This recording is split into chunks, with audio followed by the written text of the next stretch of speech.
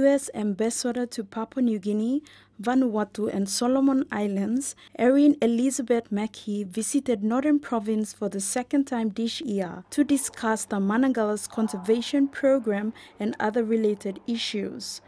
Ambassador McKee, accompanied by Governor Gary Juffa, flew into Afore district to meet with leaders of the Managalas Conservation Authority to further discuss conservation matters. She said it was of global concern that people manage their natural resources, particularly forest resources.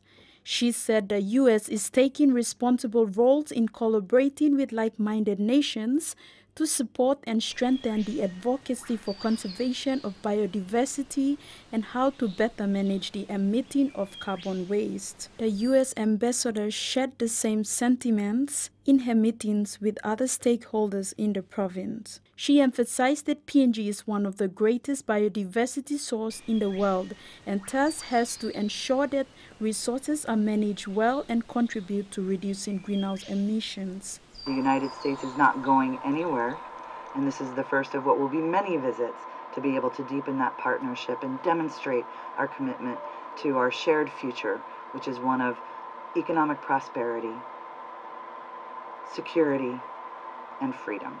Apart from discussions on conservation discussions, Ambassador McKee talked about the importance of good governance and the ability to collaborate with potential investors. Kathy Undaba, TVWAN News.